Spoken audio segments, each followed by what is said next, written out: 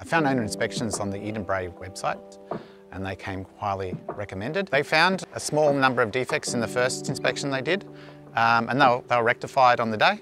On the uh, slab stage, they found many defects, and I was very shocked. But uh, as I said, the owner inspections came out uh, a number of times and made sure that all those defects were rectified. The owner inspections actually produced uh, comprehensive reports, um, and uh, those identified the defects. When the things were rectified, they came out and did a re-inspection, which I thoroughly recommend.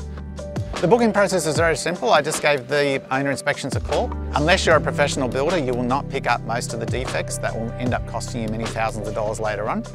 One of the things that does for me is give me a bit of peace of mind that the fact that my uh, house is actually going to be built of good quality and uh, not going to cost me money hopefully down the track.